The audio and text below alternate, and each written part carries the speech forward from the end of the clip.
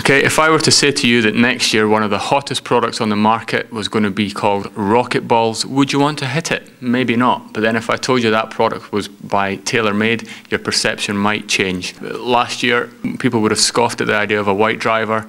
The R11 was one of the best-selling products, if not the best-selling product in 2011. We've got the new one here. John, tell us a bit about it. Yes, mate. The uh, the RocketBallz driver and um, fairway wood hybrid. We were slightly shocked when TaylorMade told us uh, the name. Uh, they were definitely looking for a reaction, but um, yeah, like most things from TaylorMade, it's obviously going to be a great product. Main thing with this is it's going to replace the burner line. The Superfast 2.0 had a great year last year. It was big on tour, obviously sold well too, but this is moving the burner franchise on again. RBZ, as it's going to be uh, shortened to, uh, has an element of adjustability, something that the old burner, the previous burner didn't, but it's still got lots of the same characteristics. Ultimately, if you just want to get up, hit the ball as far as you can, this is the product for you.